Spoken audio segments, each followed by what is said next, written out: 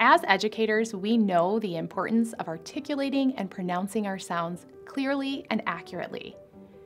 When asking students to isolate phonemes in words, this can be a challenging task. When we hear a language, all of our sounds are co-articulated.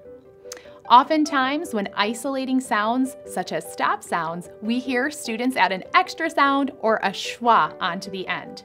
For example, the sound of B, b, is often pronounced by students ba, adding that schwa onto the end. We want to make sure that we are modeling the sound clearly and accurately for students and providing error correction if we hear students adding that schwa on. Many educators are aware of keeping our sounds nice and clipped. However, there are four sounds that are a little bit trickier and not often recognized as adding a, that schwa.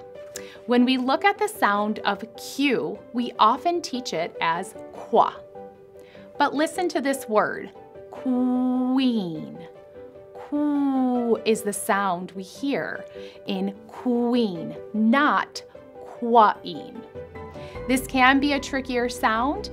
To help yourself pronounce this accurately, think of a word that begins with that sound and isolate just the first sound.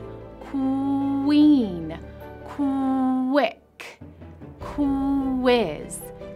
Q says Q. Another tricky sound, Y. Oftentimes we teach Y as ya, but listen to that.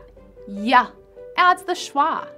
When I say yellow, I do not hear a uh after yellow. Y says ye in yellow or yo-yo or yesterday.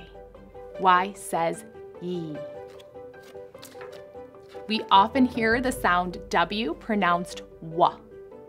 But what do we hear at the end? Another schwa. Listen to this word, watermelon. We do not say wa watermelon, we say watermelon. W says like in wish or Wednesday or went. W says ooh. And our final tricky sound is the sound of R. Oftentimes we hear this pronounced er. When we look at this red rectangle, we do not say er red or er rectangle. The sound of R is r, red, rest, read. We realize some of these sounds may be new to you, and you can practice pronouncing those sounds before you get in front of students to help them articulate these sounds clearly.